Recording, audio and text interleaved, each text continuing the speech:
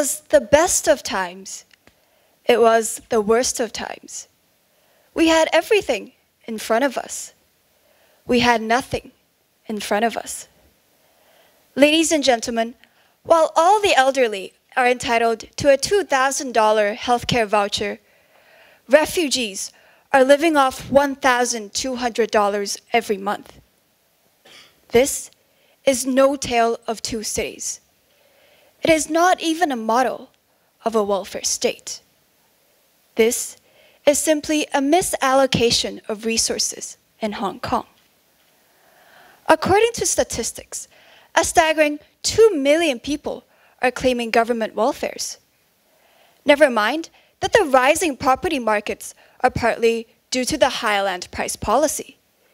We will simply build more public flats, hoping that one day supply meets demand. Never mind that inequality persists within our education system.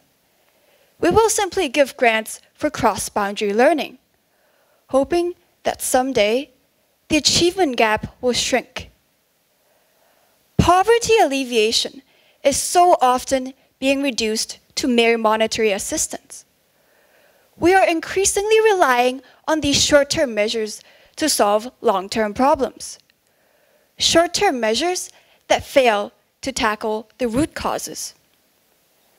The first major culprit is a lack of upward social mobility. Despite inflation rates, the monthly median income for young adults has remained around $10,000 in the past 10 years. Limited career opportunities and job advancements are something that the low income working allowances cannot solve. The second major culprit is a lack of job diversification. University programs outside of traditional academic pursuits are negatively perceived as useless. 2% of street sleepers are actually college graduates. These talents, not utilized to its maximum potential, are losses to Hong Kong's economy. There are losses that cannot be reimbursed by Social Security. So, ladies and gentlemen, today I call for policies that truly invest in the infrastructure. I call for handouts that are only for emergency.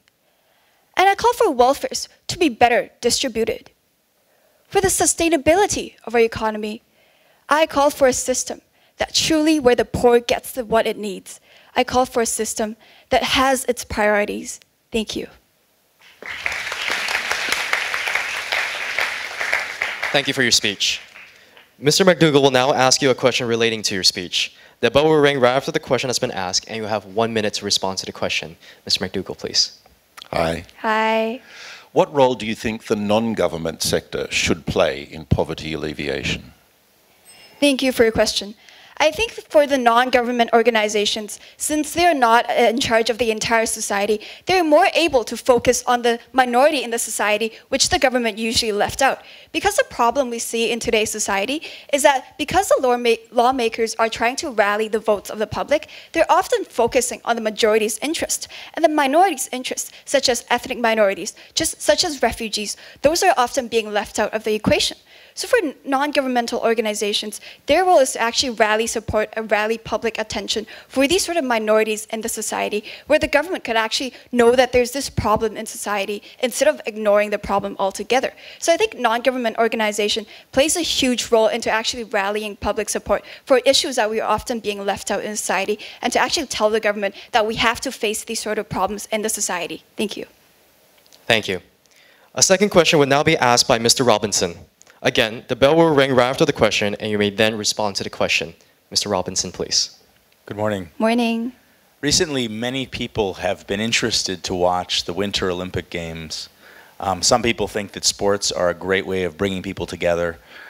Other people criticize them and think that they cost too much money and they maybe just highlight competition and rivalry.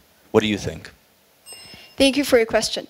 Now, talking about rivalry and competition, I don't think it's in, uh, uh, inclusive in sort of uh, sports because in today's competition, I actually made friends with all my fellow competitors. So I think even though you're in a contest, it doesn't mean you have to hate each other. It doesn't mean you have to be really competitive and go like, "Hey, I hope you suck."